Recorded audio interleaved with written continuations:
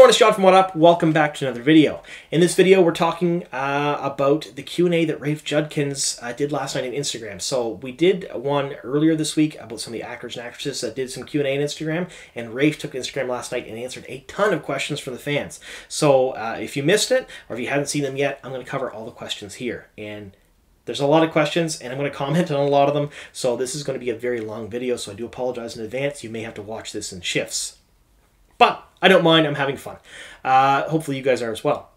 Also, in the community section of this video, we're featuring Maria. She is a Wheel of Time artist uh, that goes by the name Memo on Twitter and Instagram. So she's pretty talented, uh, and I, have actually done a commission through her as well. You'll get to see that later on next month. Um, so if you've already seen the video and uh, you want to jump right to the community section to get more information about her, please do so. There's a link in the description box down below. Now, before we start anything, I do want to mention that uh, we are still doing that contest. When I hit 2,500 subscribers, I'm going to be giving away another WoT Up t-shirt and another What Upper bottle. That's a water bottle with the WoT Up logo on it. Uh, but I've also decided that I will do a live stream as well as soon as we hit 2,500, and I'll probably give the prizes away on live stream. I think that'd be kind of neat. Um, so, I don't normally do live streams. I've done the Dusty Wheel a couple times and I like it. It's a lot of fun, but I'm terrible at being live because I take a thousand cuts and takes to do stuff because I mispronounce things all the time and I get fumbled my words and stuff. Uh, but I've decided that uh, under your advice, as well as the advice of some of the other people that help me with the channel, that it might be a good idea to do one. Uh, and you guys want me to, so I will. Um, so if you haven't already subscribed to the channel, please do so. We'll get to that uh, you know that threshold for the contest and live stream a little bit quicker if uh, those of you who haven't subscribed yet do so. All right. Before we start, spoiler warning. In this video, we are answering, well, we're not answering questions. We're talking about questions that Rafe Judkins answered last night on Instagram. So, uh, some of these questions touch on things that happen much later on in the books than you would expect.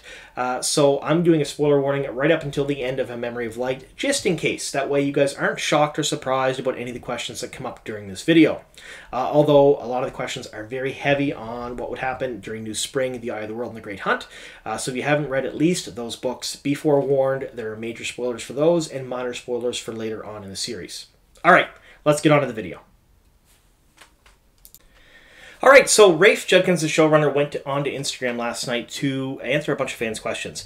I missed it. I wasn't there for it, so I went through them all this morning, and there were some really good questions in here. We actually learned a lot about the show, uh, and so uh, we figured we compile them all for you here because not everybody has Instagram, and not everybody's seen these yet. So let's go through them. So uh, he said he's been sick the last two weeks, but he's better, and he's answering Wheel Time questions. So the first question is, will the show have any connection to that abomination of a pilot that Red Eagle put out, the referencing Winter Dragon that came out quite a few years ago with uh, Billy Zane? And the answer is nope, with a big smiley face. So that's that's probably making a lot of people happy, um, even though some people had speculated that Billy Zane would be part of this project. He says nope here, so no connection at all. So, what part of the books should you be caught up on for the first season? Depends if you like to read something before you watch it or not. So, in other words, what he's saying here is that this show is not being built around having to watch the books. So, and, and we all kind of figured that. It's going to be like Game of Thrones, where it'll stand on its own, it'll be an adaptation, and uh, the majority of the viewers probably will not be book readers initially, but they will pick up the books afterwards.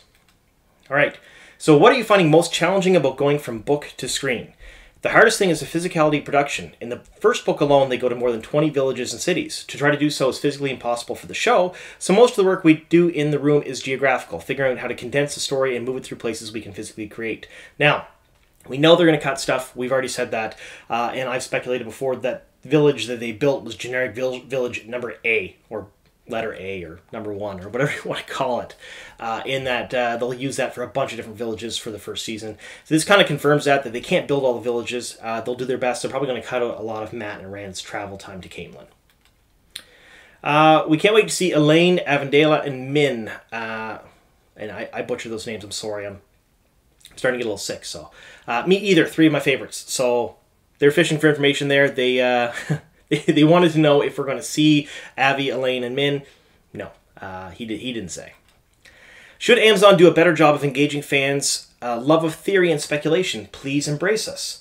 Uh, he said, I love theory and speculation. What can they do to better engage you? And send suggestions and I'll forward them along. So uh, I have been a little critical of Amazon, uh, not the cast and crew at all because they're fantastic, but Amazon, the parent company, uh, for how tight fisted they've been with information.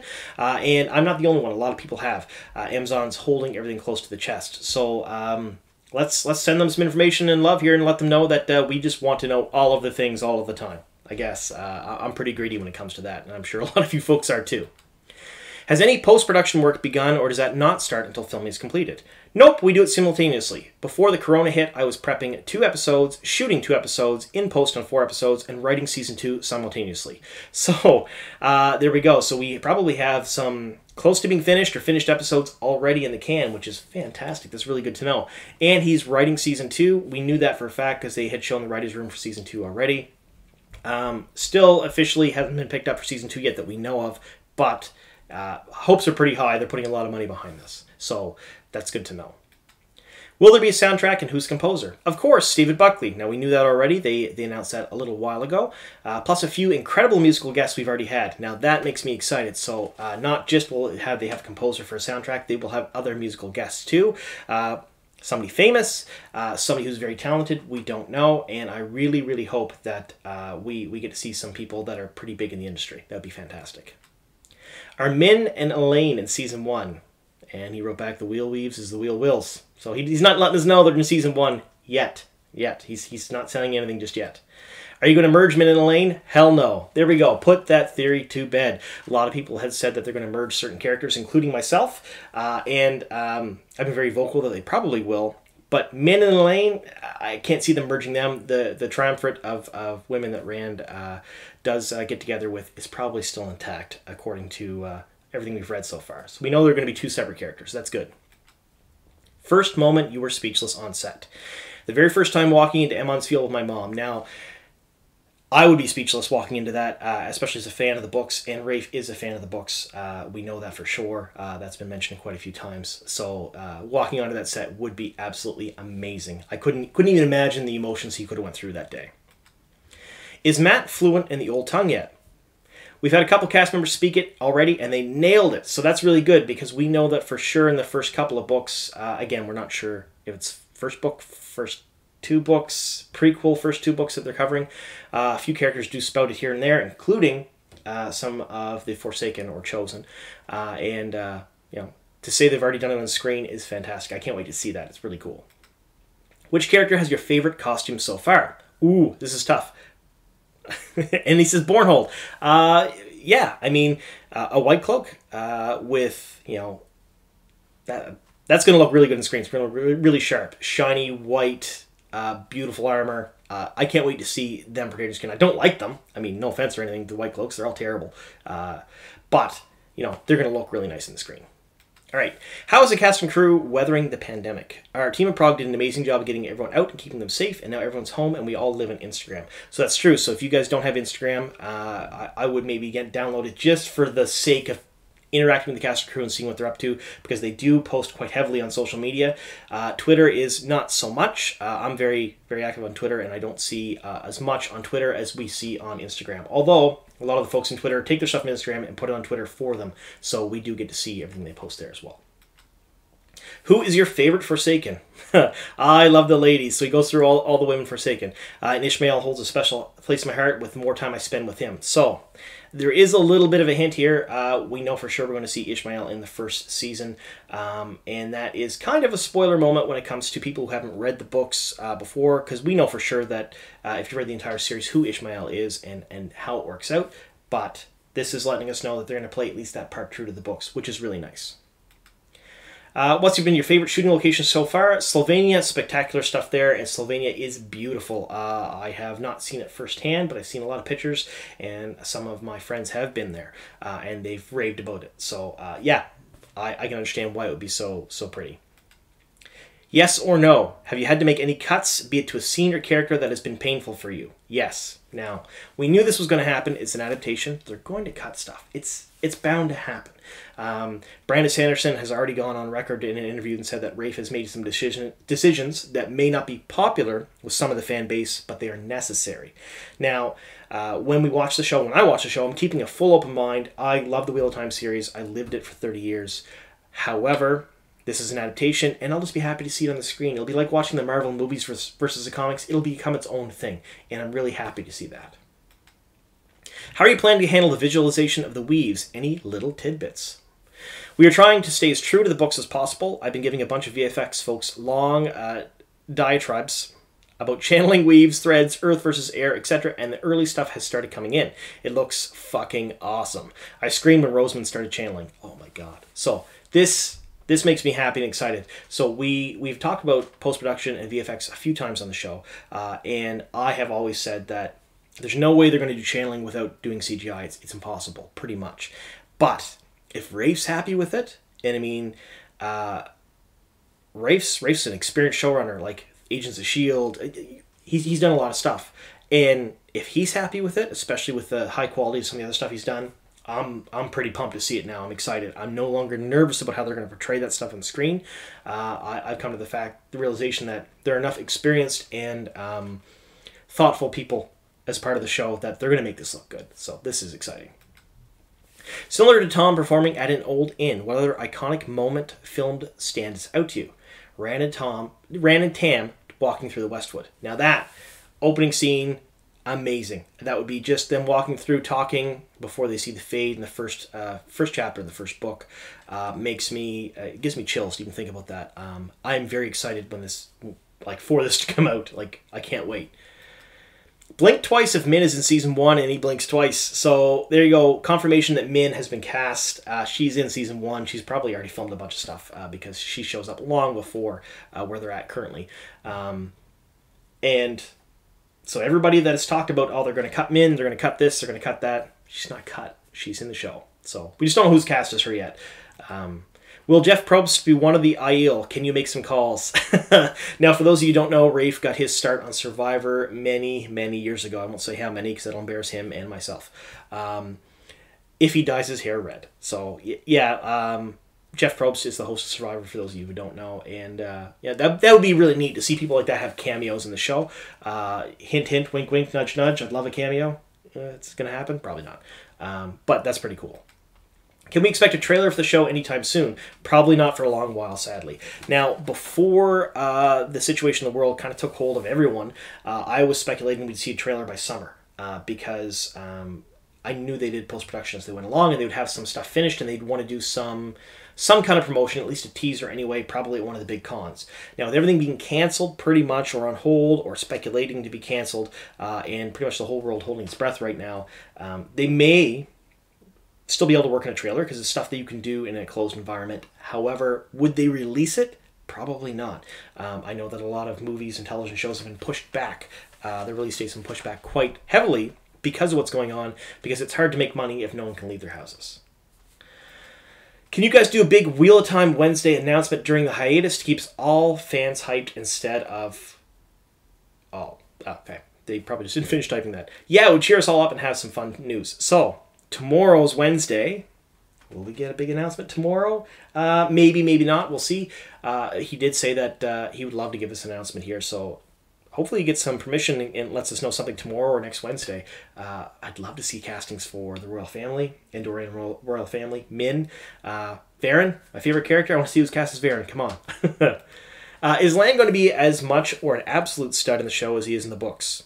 You've seen it at, at Daniel Henney, right? So, uh, for those of you who don't know, Daniel Henney uh, plays Lan, uh, and he is also on Criminal Minds. So, if you haven't watched Criminal Minds over the last five years or so, he's been a staple in that show. Watch him there. He is a fantastic actor, and he, I think, he's going to be able to play the the brooding man's man type thing that that Lan is very well. Any funny behind the scenes stories? Uh, I once walked up to Rosamund's dummy to say hello and then pretended to check its makeup and told everyone they were doing great work. Uh, so that's great. So we know that, um, you know, funny things happen on set all the time. He covered this one up pretty good, but now they're all going to laugh at him for it. So there you go. Well, we have to wait till season two to see any Aiel other than Rand. So that's, like I said, there's going to be some spoilers here. First couple books, that's that's one of the spoilers.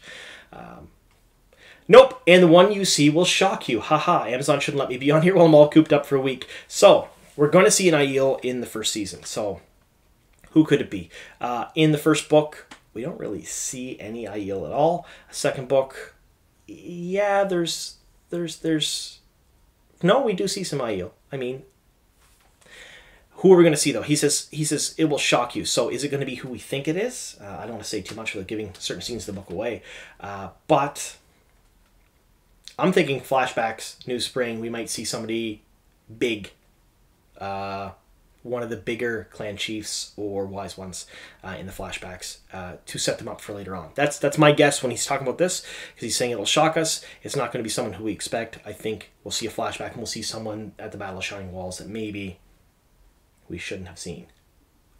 All right. Robert Jordan writes a lot of internal headspace stuff. What's one hint on how the show will handle that? That's the biggest difficulty of any novel adaptation, figuring how to make the internal monologue come out clearly to the audience. A lot of the changes we make and the stories we tell differently are designed to serve exactly that purpose, showing you what those characters' internal monologues from the books are without saying them out loud in exposition. So, this is something I've wondered myself. Uh, there's a whole lot of chapters of just people talking to themselves in their head and monologuing on and on uh, in the book series and you can't you can't do that it doesn't make for an exciting show so they're saying that things some things are going to change to show that stuff that makes sense to me. It's 100% you have to show the emotion rather than just hear someone talk or else uh, it, it's like you watching me. Not as exciting. Are using taller actors to portray the Aiel or camera trickery? Trying to get tall folks but i'm less concerned with height and more concerned with acting ability which makes me happy. Uh, the better actors and actresses should be the one playing those characters the ones that better suit and fit the roles uh, rather than how they look physically. And i've said that since day one. Uh, their physical appearance really should be secondary to how well they can portray the role. Uh, and like I said, we, we've all seen Lord of the Rings with the hobbits and Gandalf. Uh, Elijah Wood is not hobbit sized. Make sense?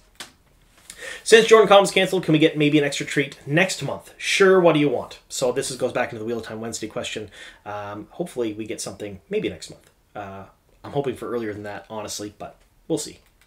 Do you have a favorite uh, wise one, Avi. So again, another spoiler warning. Uh, uh, but uh, Avi's amazing in the books. Uh, she's she's really really good. I can't wait to see who they get to play her because she is out of out of the, the the three women that Rand is involved with in the books, she's my favorite. Honest to God, like I, I love her the most.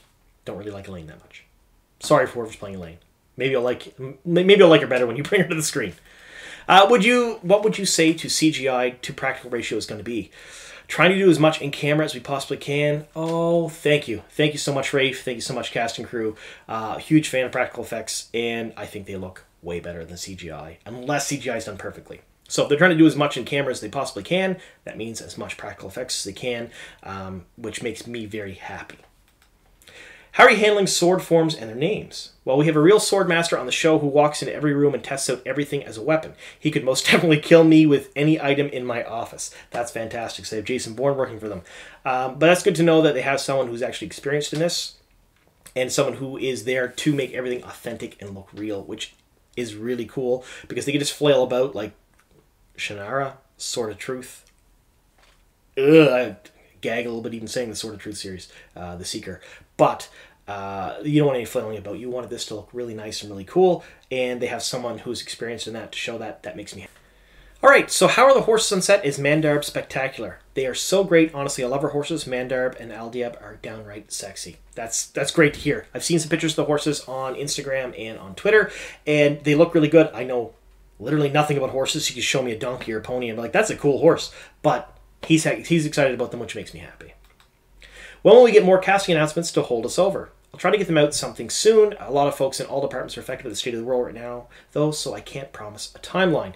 Now, that makes sense. Uh, we as fans are, you know, we're all cloistered at home and we're like, well, we want more information now. You're not filming, so you have time to do other things. You have to remember that these folks are in the same state that we're in. Everyone in the world is pretty much, this is an equalizer for everyone. We're all kind of stuck.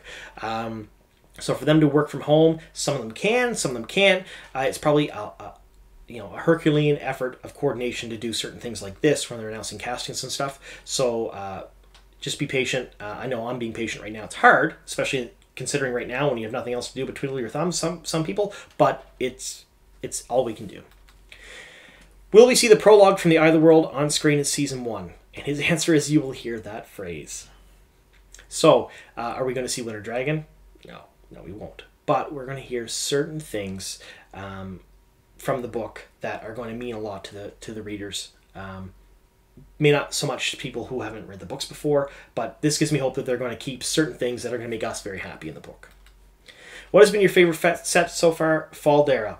uh, I'm going to guess, and this is a guess, uh, so I'll come back to this video in a year's time when the show's out. That Fal Dara will be my favorite set as well. Um, I'm excited to see it on screen. It's going to be epic. Keeneland, cool. Um, Baerlon, cool. Fal Dara, probably amazing. Um, and maybe Tar Valon will be trumping Fal Dara. I don't know. Please tell me you've cut Narg. What's wrong with you? Who wants who wants Narg cut? Uh, never. Uh, good. That's that's a fantastic answer. We've speculated before they might cut him uh, because it really serves no purpose to the show other than fan service, but they're going to keep him in. So thank you, Ray, for the fan service. I'm quite happy with that. Uh, Narg has been a staple of this community forever, and I can't wait to see him articulate uh, how he's smart on screen. To what extent has Harriet McDougal been involved with the project? Well, she's a consulting producer, so she's been out to Prague on the sets and reads all the scripts and sends me her notes on them. She and Maria are hugely helpful for maintaining the truth of the series and always keep me honest when it comes to things that change too much. That makes me very happy. Uh, for those of you who don't know, Harriet is Robert Jordan's widow and was his editor at Tor. Uh, she was heavily involved in all things Wheel of Time from day one. So she's probably the best person on the planet to know his real intentions and to know what he really expected of something uh, of a project of this scope. So to hear that she's involved, she's reading the scripts, she's been to set, makes me very excited that they're doing this right. Is any aspect of the show still in development, or has it all stalled because of the virus? A lot can be done virtually. I'm still doing VFX editing in the season two virtual writers room, and I can do that in pajamas. Like I said earlier, you're looking at uh, some people working from home, and Rafe obviously is working from home. Uh, so that's good to know that they're still chugging along on the show. Will Min, Elayne, and Avi have to be combined into a single character? this is a question that a lot of people have asked. Uh, girl, you crazy. I'm not going to combine huge characters like that. Maybe sometimes a minor character folded into a more major one to make better use for cast, but nothing nuts. Uh, so when he says that, my Huron theory, uh, but that's good to know that all three of those main characters will still be in the series. They'll be there because they all offer a lot to the show. I mean, I've expressed uh, my dislike of Elayne and to a lesser extent Min in some cases um, for some things that they've done in the books, uh, but they're very important. I, I never discount that they're important, so I'm glad they're not being cut. Robert Jordan created thousands of characters. Given that you feel the Given that, did you feel the need to create new characters? So, for those of you who don't know, 2,782 named characters in the book series. That's a lot of freaking characters. Anyone new is inspired by characters in the books or a number of characters combined. If we paid to cast all speaking roles in the book, we could only afford a radio play. Now, I've said that before. Uh, they're going to have to combine some people because the logistics of 2,782 people on screen over the course of 5, 10, 12 years, however long it's going to be, is ridiculous. It won't happen. Um, but it's good to know that they're going to combine characters and they're not just creating new ones uh, out of thin air for no reason.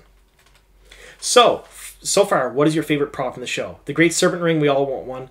Yeah, Rafe, I want one too. I think it'd be amazing.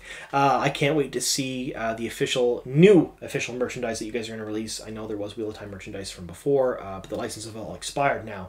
Uh, um, I can't wait for all the new merch to come out. Uh, and so you guys know I will be previewing pretty much almost everything that comes out on the channel, uh, barring cost. So uh, I would have loved to do a full video on the, the book sleeves that came out recently because that's our newest Wheel of Time merchandise, but I can't afford $900 on a set of books. That's, that's crazy. Hopefully these things are a little bit cheaper. uh, will Loial portray the Ogier, Ogier species or will he humanize for screen? He's an Ogier. He's going to be big. He's going to be like teacup shaped eyes. Like it's I'm glad to know that they're going to keep him true to what he is and not make him a small person. How involved, if involved at all, is Sanderson in the writer's room? Brandon is hugely helpful. I've talked to him before we started season two while he was in Prague to get advice, and he reads all the scripts and gives notes. He's incredibly thoughtful and understands the process of adaptation and what's required from it. More on that in a bit. I feel so lucky to have him involved. I would have him do more if I could make him. So that's really good to know. Sanderson is involved. He's gone on record saying a couple times Rafe is choosing to cut or change some things that will be unpopular, but they're very necessary. So it, to me, he understands it's an adaptation and it's going to happen. It can't be shot for shot remake, remake and we have to temper our uh, expectations. It's not going to be exactly what everyone thinks it's going to be when it hits the screen. Because um, no matter what you think in your mind it should be, it's going to be something a little bit different. Uh, kind of like the castings with some some people are very upset about some of the castings. I think they nailed them all personally, but everyone thinks something different in their heads. Uh, so he's saying here that Brand has been helpful and he understands an adaptation. That's a good sign because it means that he knows what to cut and what to amalgamate uh, with keeping the, the story keep going along. What words of hope would you offer a fan afraid the show will cut out a lot of content? So this goes along with the last question. I genuinely think we are cutting less than most people think. When I see people ask questions like, Are you cutting Min? it blows my mind. I don't know how you do an adaptation without some of these characters. I think it'll be a bit of the smaller stories you'll miss. You can't have Rand and Mat travel to many, many inns in their travels across the countryside, for instance. It's just not producible. So that will be more of what you miss, I think, and the books always exist to read for that. So what he's saying here is a lot of the smaller stories and plot lines will be cut out. Um, think Lord of the Rings and Tom Bombadil. Is that that's the best way I can say it to anybody who who who may not understand. Um, it was in the book. It didn't really matter that it was cut, and when you watch the movies, you don't notice it. So we're going to see a lot of stuff that, as hardcore fans, will notice it's being cut, but someone who maybe has read the series once, or is partway through it, or has not read it at all, they're not going to notice as much, and um, it won't in, impact their experience or their enjoyment of it at all, which makes me happy. I think Bella is such an important character. Will the same horse play Bella through the series? We've already had to have two Bellas. Turns out that a horse we're riding on film is not the same as a horse we're pulling a cart, and she must do both. Makes 100% sense. Um, I, I'm not too worried. It's probably not hard to get horses that look similar. Now that you've met them, uh, settle the score. Who's better with women, Rand, Mat, or Perrin? I think they'd all say it's the other. That's a great answer. It's just like in the books. They all think that each one is better than, than themselves in the books. Will the show be understandable for those who didn't read the books?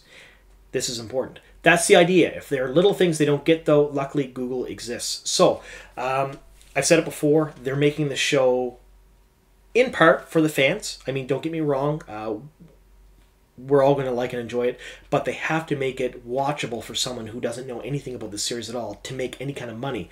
Uh, because if every Wheel of Time fan in the world watched the show, uh, you're looking at not enough viewers to keep the show going for the full however many seasons. Uh, they're going to want to get new people who've never read the books before as well. Who's your favorite Aes Sedai in the books? And you can't say Moiraine, Siuan, or the Wonder Girls. So many rules. I honestly love them all except Galina, that bitch. I agree with you there. Galina's horrible. Uh, Alanna, Liandrin, and Verin are probably my top three. Uh, move that. Verin's top.